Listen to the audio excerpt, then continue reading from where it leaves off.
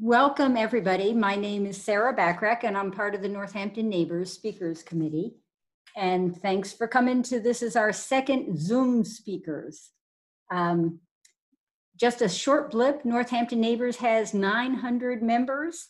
And even during the time of the COVID pandemic, we're still trying to provide calls to people who would like weekly check-ins um, and some Zoom activities. We're just beginning to start to open up for some services, but mainly outside, yard work, raking leaves, planting flowers. Um, so during this time, we have to improvise. Just to introduce the logistics, Nina talked about some. Everyone will be muted. If you have a question to ask at any time, you can ask it via the chat button. The chat button is at the bottom of your screen. Um, if you have a problem, I don't know how to help you because that's all I know.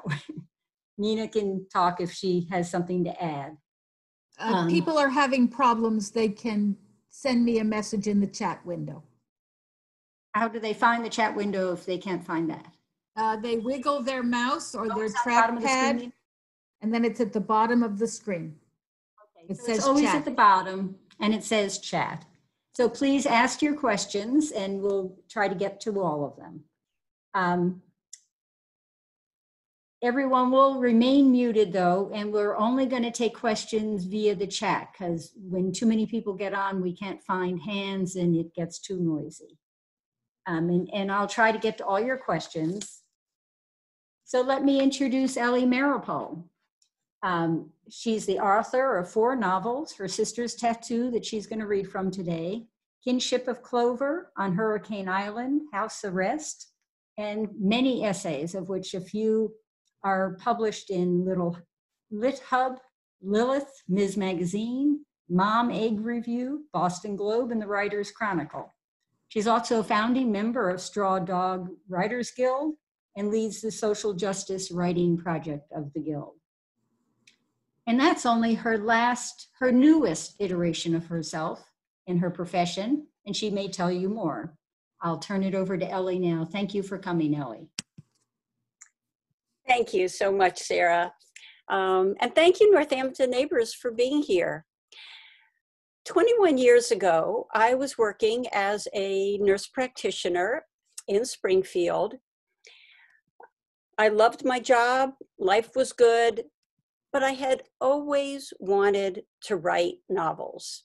I read a lot, and sometimes I would finish a book and I would think, maybe I could do that. And sometimes I would finish a book and I would think, oh, I wish I had written that book. In the year 2000, I decided to start writing fiction. I was in my mid 50s and I had no clue how to start. I had never taken a creative writing class. I just, I just really didn't know. So I found an ad in the back of an American Airlines uh, magazine on a plane and I signed up for an online workshop. I figured if I really sucked, then nobody would know. And so that was a safe way of trying it. I absolutely loved it. And I kept writing stories. For me, writing fiction is this mysterious and magical stew of memories, dreams, experiences, imagination. My novels all start with a spark, some small thing, a character, a set of eyebrows I see on a bus, a what if, and I never know where I'm going. I never outline. Kurt Vonnegut once said, the way to write a novel is to jump off a cliff and to develop wings on the way down. And that's the way it feels to me. It is exhilarating, it's exciting, it's frightening, um, and it's often surprising. That's one of the things I like best is that my characters often will surprise me. So, one of the first stories I wrote was about two 12 year old girls who meet at summer camp and they discover that their mothers are sisters. They didn't know this, they didn't know each other. Their mothers haven't spoken to each other in a dozen years because of something that happened at an anti Vietnam War protest. Well, I learned two things from writing that short story. First of all, I learned that it didn't want to be a short story, it wanted to be a novel. It was too complicated, it was too big, it was too important to me to be contained in 25 or 30 pages. So I kept writing and I wrote a novel draft about these two girls and their mothers who were sisters. I found a local writing group. Some of you might know or even have written with Writers in Progress, Dori Ostermiller's group based in Florence. Um, and I revised. But that taught me the second thing, which was I really didn't know how to write a novel. So I enrolled in a low residency MFA program, a Master of Fine Arts in fiction. And I learned some craft and I graduated from the program and I published three other novels. And every time I sent a manuscript off to my editor, I would return to those sisters and their daughters. I would write another draft or two. I couldn't get it right, but I couldn't let it go. So there are a few reasons for that, I think. One is that, as I said before, it's kind of a big story. It covers 35 years, three generations. It goes from the shtetls of Eastern Europe to the streets of the United States. It's told from multiple points of view. And it asks some big questions about moral issues. So I really wanted to keep digging and to get it right. I think the second reason is that while the characters are made up and the story is made up, a lot of the context of the novel comes from family stories that I learned as a child and from my own lived experience as an activist. The third is, I think, a reason common to a lot of people who start writing um, or maybe start any kind of artistic endeavor later in life. Um, I call myself a literary late bloomer.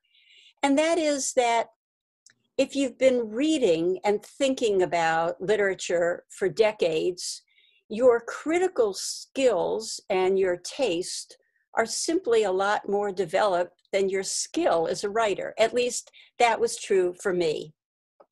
The other true thing was that although people warned me that starting something new would be difficult because I would be a beginner, I loved being a beginner. I loved feeling that I had nothing to prove, that I could try things and I could fail, and that was just fine. So it worked for me. So 20 years later, her sister's tattoo was finally published. Because it begins in 1968, over 50 years ago, it's classified as historical fiction but really it could be set today given the massive protests and the really difficult choices that people are being called to make. Now, though, I invite you to close your eyes and enter the world of her sister's tattoo with me. It's a hot August day, 1968. You are marching down the streets of downtown Detroit, protesting the war in Vietnam with thousands of other people, black and white, young and old. In the front of the march, you see Rosa and Esther. You know them a little from the anti war movement, from women's liberation. You've heard that they come from a family of activists, their parents, their grandparents, for years, you've seen them at demonstrations, union rallies and civil rights demonstrations. You've been in meetings with one or both of the sisters. This is what you and Rosa and Esther see on that march. The August air was charged with whiffs of marijuana and patchouli oil, the sulfur stench of asphalt softening in the heat, and the distant admonition gas. Protesters overflowed the broad expanse of Woodward Avenue and spilled onto the sidewalk. Their chants ricocheted off the brick faces of the squat downtown Detroit buildings. And the excitement, excitement had a peppery smell, all its own. Well, when the march arrives at the rally site, you lose sight of the sisters. You're not near them when they hear the rumor that cops are beating people a few blocks away. You don't see them leave the rally to go help, to try to stop the violence. But later, you hear what happened on Grand River Avenue. You hear that the mounted police were beating people. You hear that the sisters threw small, hard green apples at the cops to try to make them stop hurting people. You hear that an officer was hit and he's hurt. You wonder what you would have done if you were with Rosa and Esther on Grand River Avenue. The next scene I'm going to read takes place right after the demonstration. Rosa and Esther return to Esther's apartment so she can nurse her baby, Molly, and to watch the evening news.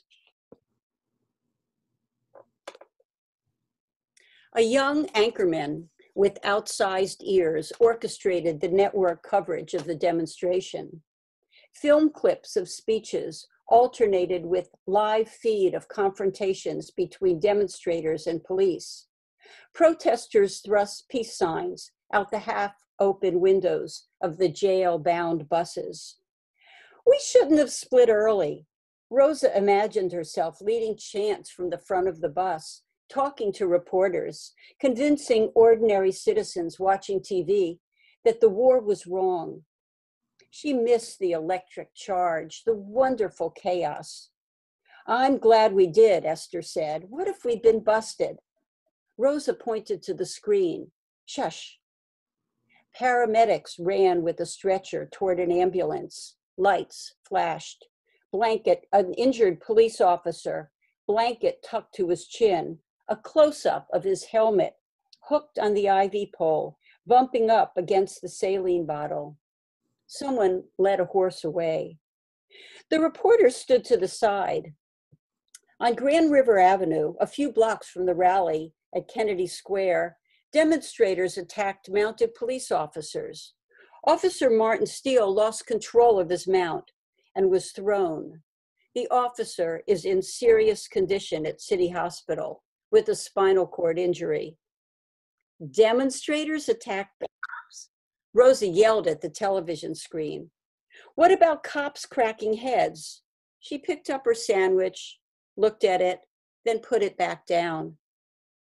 The anchorman introduced a wire service photographer who'd been eating at a restaurant on Grand River. We bring you an exclusive interview to shed some light on the tragic consequences of today's street fight. Street fight? Rosa grabbed two fistfuls of her hair. They were beating up unarmed citizens. Did you see anyone taking photos? Esther asked, switching Molly to the other breast.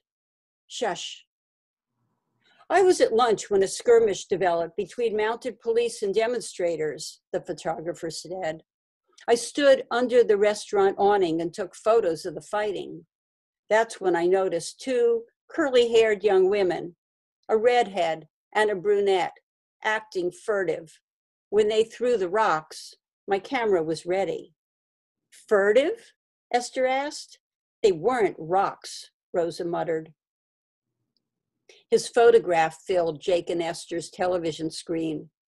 Two young women with pale oval faces and electric hair, one with eyes squeezed closed.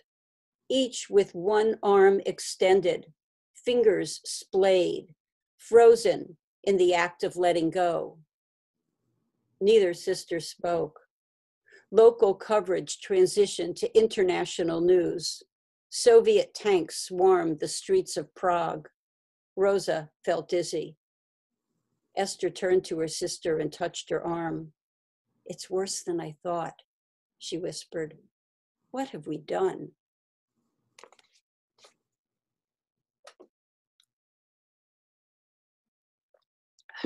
Well, that evening, the sisters are both arrested. They're charged with multiple serious felonies. Rosa wants a political trial. She sees it as another way to protest an unacceptable war. But Esther has a five month old daughter. And uh, one of those campers, by the way, I mentioned before, we'll come back to Molly, and she wants to stay out of prison. So Esther reluctantly accepts a plea bargain offer, which means that she must testify against her sister. And that sibling conflict is the other reason this took this book took 20 years to complete. That issue is really close to home for me, close to my family legacy. My husband, Robbie, is the younger son of Ethel and Julius Rosenberg, who were executed in 1953 for conspiracy to commit espionage. Robbie was six years old. The only trial testimony against his mother, against Ethel, came from her beloved younger brother, David Greenglass. David's testimony sent his sister to her death. Decades later, David Greenglass admitted on national television that he had lied, that he perjured himself. I've always been pretty obsessed with that sibling relationship. Ethel and David, Doovie, as she called him, were so close. How could he betray her? I've never wanted to write a novel about the Rosenberg case, and I didn't. That's not what this book is about. But I did want to explore the question of one sibling testifying against another.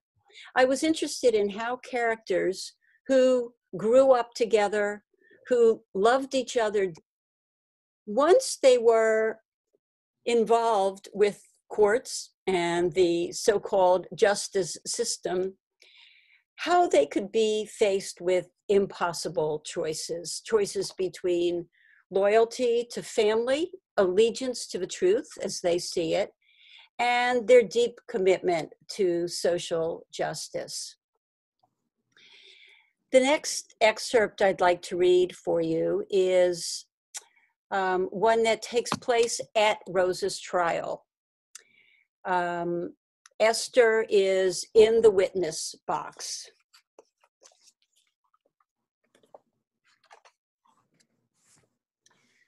Rosa sat at the defense table between her lawyers, refusing to look in the direction of the witness box. Good thing, because Esther didn't think she could hold her face intact if their eyes met.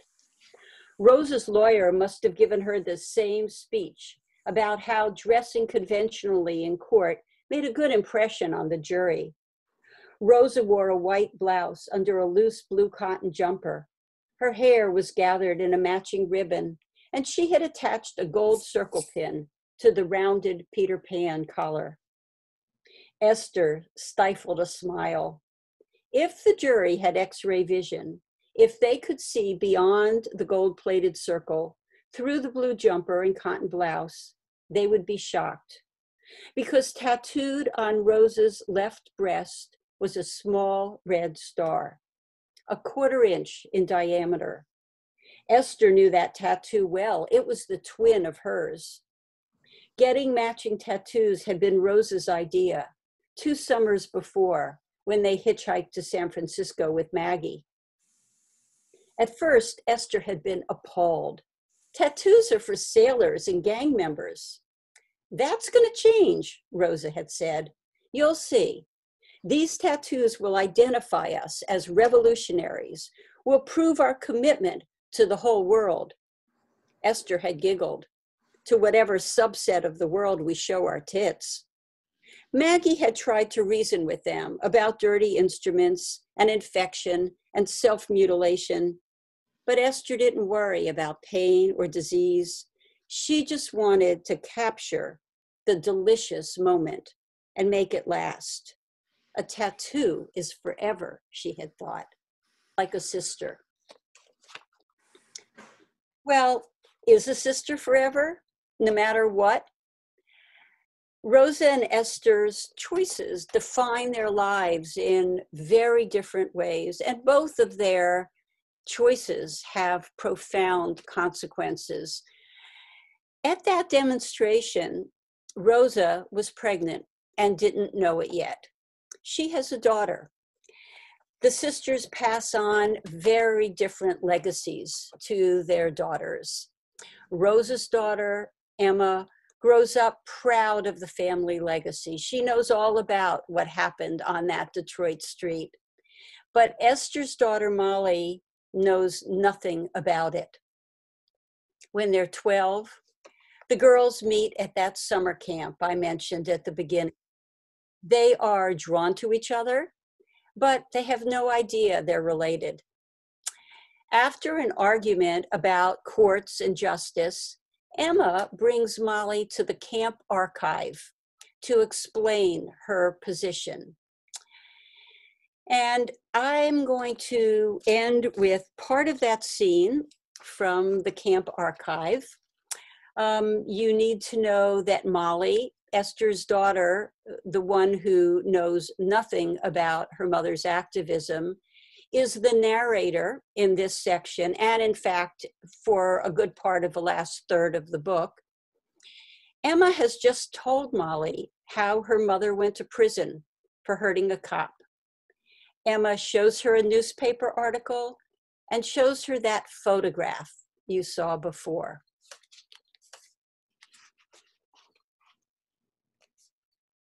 I studied the large black and white photograph Two young women with pale oval faces and frizzy hair were caught with their arms flung out, fingers extended as if they had just thrown something. Emma's finger pointed to the woman on the left. That's my mom, Rosa. But I stared at the other woman, the one on the right, whose eyes were closed. The air in the room went all stale and dead and so heavy my lungs couldn't suck it in. What's wrong? Emma asked. I don't understand, I pointed. That looks like my mother. Esther stared at me. That's impossible. That's Esther Levin, my mom's sister, who finked on my mom and sent her to prison. Esther Levin Green. I pictured the gold letters on the diploma that hung on the wall over my mother's desk in the alcove off the kitchen. A smoldering started deep inside my throat and spread like fiery sunburn over my neck and face. Know it all Emma was dead wrong about this. My mother doesn't have a sister, I said. I would know. She would have told me.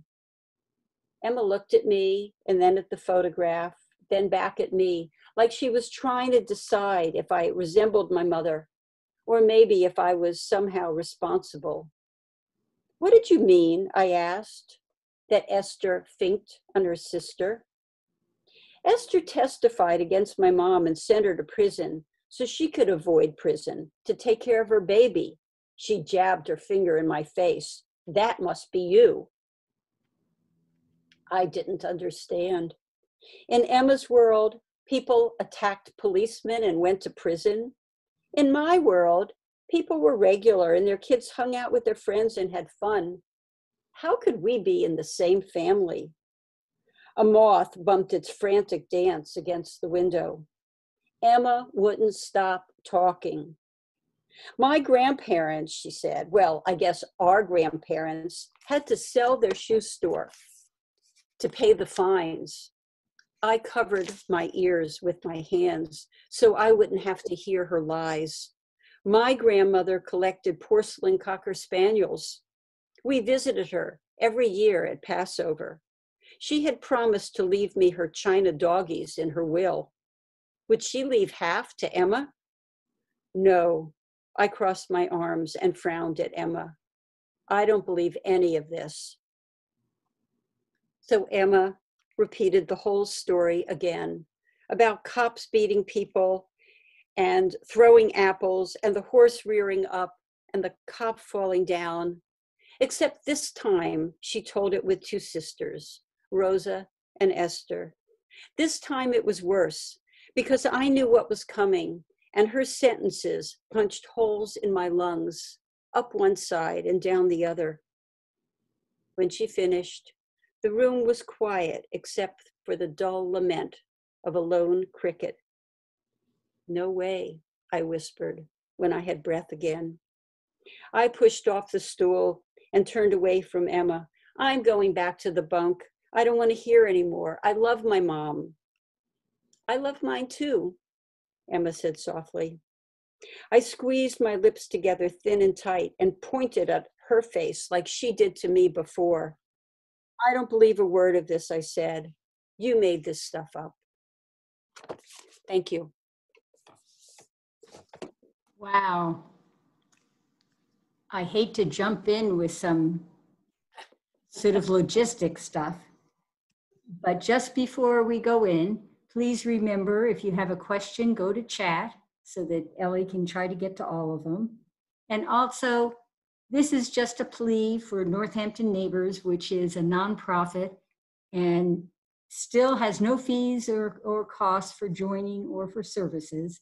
And even during this time of a pandemic, we're trying to keep supporting people and we need your support. So if you can, if you can go on the website of northamptonneighbors.com, there's a donate now button and lots of ways to donate. And as little as you can or as much as you can, whatever would be very helpful. So Ellie, I'm going to start with the questions. After having this story in your mind for over 20 years, and now you finished it, do you miss it? Do you miss the background noise? Um, I don't miss it yet because I'm spending four or five times a week um, doing things just like this. So I'm still living with the sisters um, and their story. Um, I don't really know what this it'll be like when I'm I'm done um, promoting this book.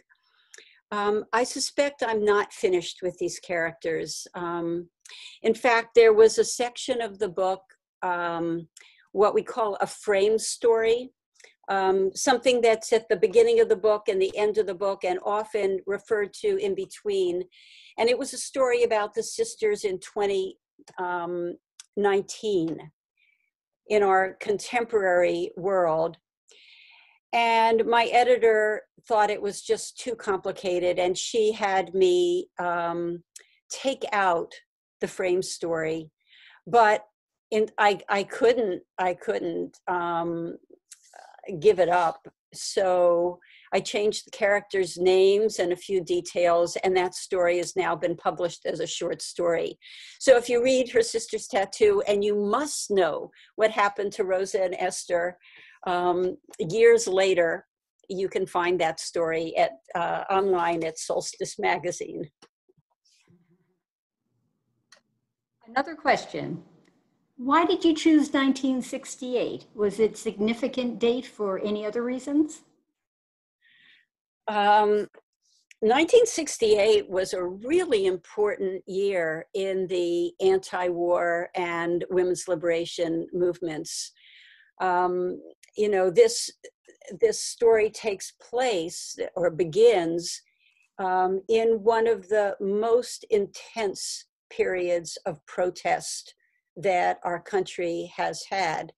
Now, I wasn't prescient and I didn't know the book would come out in another period that is turning out to be another very intense period of protest. Um, but I chose it because it seemed to me that's the time when this story would be most likely to be recognizable as something that um, many people of of my generation were part of. So um, it just it felt like absolutely the right year. It's also the year I got married, but that's irrelevant to uh, writing the book and the story. Now that the story is done, have, have you learned any surprising things about your characters that you didn't expect? Um, I learned a lot of surprising things about my characters in the writing of the story. I'm not sure I have in the time since it's been published, which is um, not quite two months. Um, but I think one of the reasons why this story took me such a long time to feel like I, I got it right was that I think when I started, Rosa and Esther were um, ideas more than fully developed characters. There was the sister who was really the badass and was going to keep going no matter what. And there was the sister who was the mom and had to take other people into account.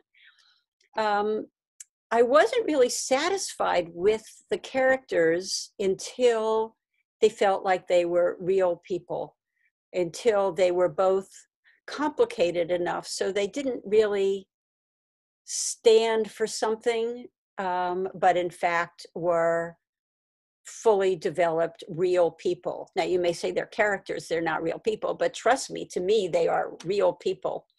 Um, so it's it just took a long time. And now, honestly, when people ask me, which they often do, which character I like better, or which of the sisters I identify with more, I can honestly say I love them both.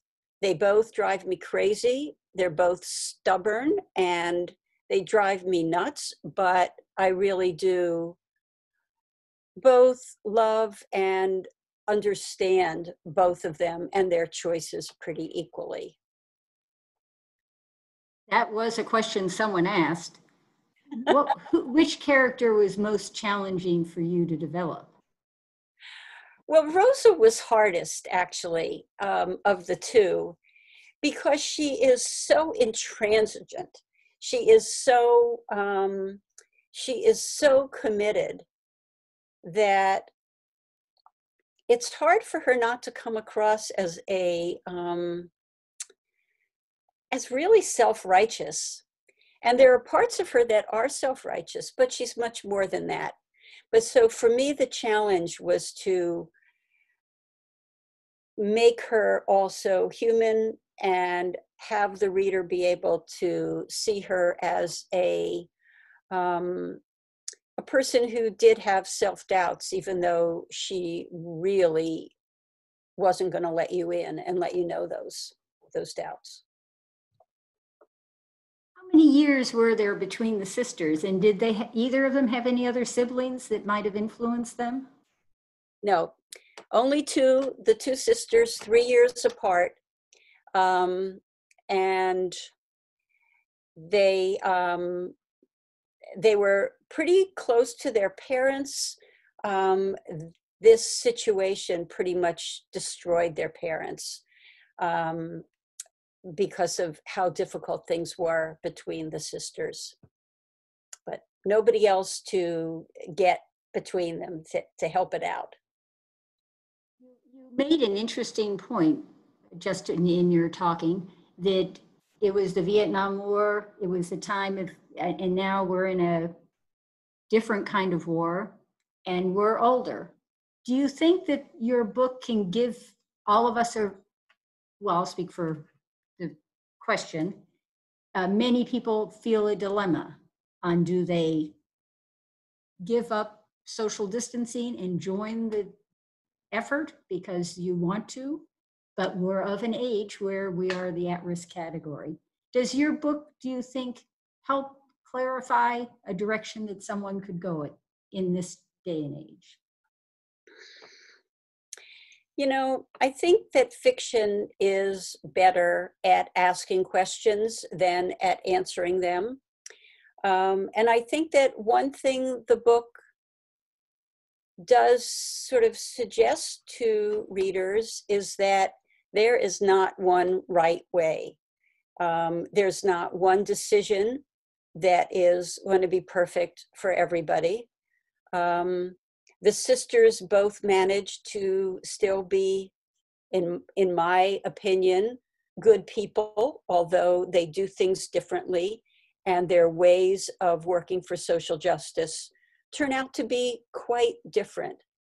Um, and I think that's true for us today, that for each of us, no matter what our age or other category, we have to figure out how we're going to be part of the solution rather than part of the problem and do our best to work hard in that way that feels right for us. I don't see any more questions, or I see one more, but many people commented on just wow and what a wonderful talk, and they need to read the book.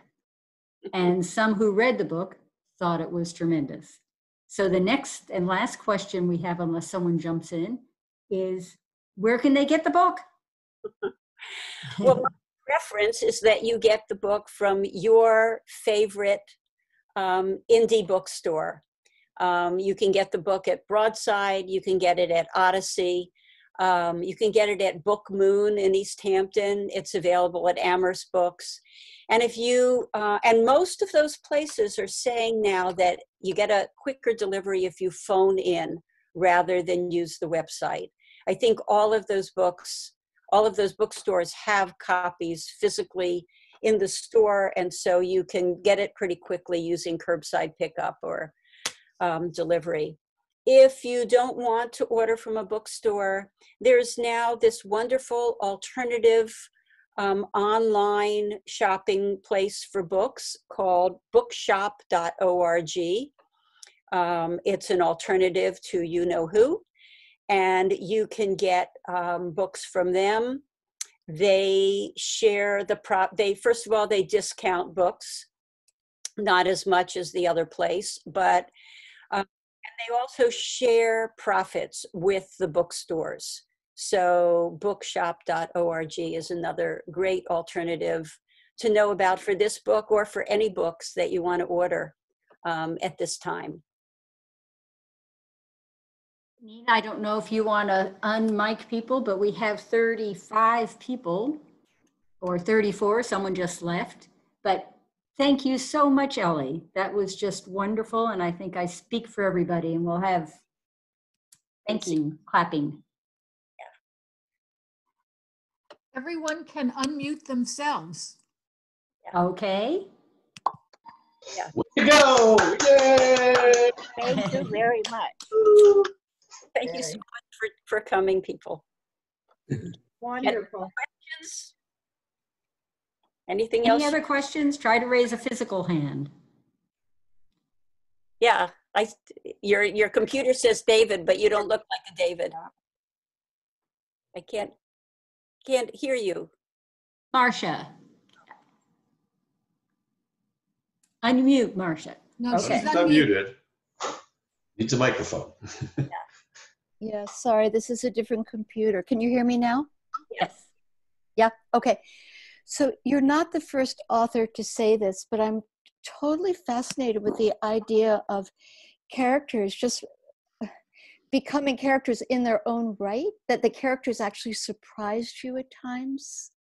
Yeah. Can you describe more about that? It's it's it's hard for me to understand how that happens. I think it's it's really it's about the writing process. It's about um, for many writers when we write fiction, we go sort of into what what a friend of mine calls the zone, where you're kind of just open to the universe. You're open to your characters. You've spent so much time with these characters; they feel re- real to you. And so sometimes when you don't really know what's coming next, um, I'll do something like ask my ca- a character a question. And I'll say, um, tell me something you've never told me before. And then I'll just start typing, I'll start writing and see what happens. So it's really, you know, I think some writers are very um, cerebral. I'm not. I'm a sort of by the seat of the pants, trying to dig down into these characters and understand them. And yeah, they do surprise me. Sometimes they'll say things that I had no clue. You know, about halfway through the process of writing this book, I mm-hmm. learned that the husband of one of the characters used to have the hots for his for this her sister and i was shocked because I, it, it didn't become a big part of the story but it became something that i said oh well yeah that's that's interesting so i don't know how to explain it better than that other than if you if you love writing fiction and you love sort of making stuff up, um, this is something that happens. Now I have a long history of making stuff up, and when I was when I was I didn't start writing fiction until I was in my fifties. But when I was a kid, I had an imaginary friend, as many of us do, and she always lived up in that corner of any room I was in, and her name was Mrs. Callipygian Kinnickinny. Mm. Have no idea where that came from. But, you know, some of us have overactive imaginations. And so writing fiction is better than telling lies, right? Any other questions? I do. Great. Um, Mary Lynn, I'm curious, your, did your experience add to the story? experiences you might have had in protesting or where the girls grew up, where the protests were, you know, what were the local regulations like? Was mm-hmm. that researched for a particular location or is it an area you were familiar with? Um, both, actually. I was very involved in anti war and women's liberation movements in the late 60s and, and 70s. And so, I mean, I was, the, the demonstrations come partly from my own memories of what things were like and partly from research. So, you know, I went back and looked at videos and read reports of all of those anti war demonstrations. I found speeches. Um, I, I researched the chants that we use. My memory uh. good enough to remember all of that, but I remembered a lot of it, and then I used research um, for the rest. One of the research, um, one of the places that was the most interesting to me for research was the proceedings of the Winter Soldier Project. Um, you know, these were Vietnam vets who came back and and testified about what they had seen, what they had been through in Vietnam. Um, the sisters have a cousin, Danny, who goes to to fight, and so and I don't have that experience. So I used a lot of the Winter Soldier material to try to get Danny's portions right. Mm-hmm. Uh, so it was really a combination of uh, okay. uh, experience and research and some of the research was um, interviewing people you know i had friends who who were in prison who visited um, people in in prison who um, one friend a, a, local professor who had been who had worked with the church commission that had discovered uh, the details about COINTELPRO which you know was a government um, project, I guess, that targeted um, Black Panthers and and other left groups. And so, you know, I took him out to lunch and said, you know, let me pick your brain about this. So I think the research is important. Um, a lot of what I got from my own experience was um, the sensory details, what it smelled like, what it felt like, what emotions you feel when you are facing a line of National Guard with um, automatic rifles, the fear. Um, Mhm. so both. Thank you. So you're seat of the pants writer, only you research and do loads of edits. Well, yeah, you write. I I write first. Um, I almost always have a first draft that's written entirely from my imagination, so I know what the story is more or less, and then I have to go back and research to get um, the details right. So, so yes, both. Anybody else? Uh, yes, Naomi. No, you talk, it's a wonderful, wonderful talk. I can't wait to read the book. I haven't read it yet. Um, but you talk a lot about how your experience in the 60s shaped the characters and your understanding, and not at all about how your life as a nurse practitioner might have shaped it, the intervening period in your life. Do you think there were ways that did too?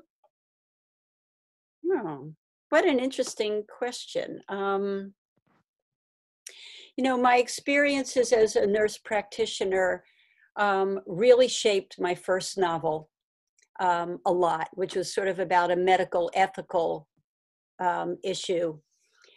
Um,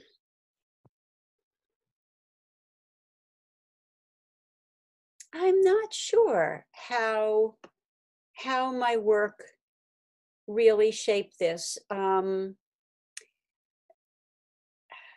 you know, there are several characters who are medical providers of one sort or another, and there certainly are um, medical details that I didn't have to look up because I knew. Um, but I don't really know the answer to that. It's a really interesting question, and I'll think about it, but I, I don't know the answer. Thank you for, for stumping me. Um, Right, do we leave her stumped or any last questions? Thanks, everybody, and especially thank you very much, Ellie. Thank you all for being part of this. Thank you. And thank you, Sarah. And thank you, Sarah. Oh, you're welcome.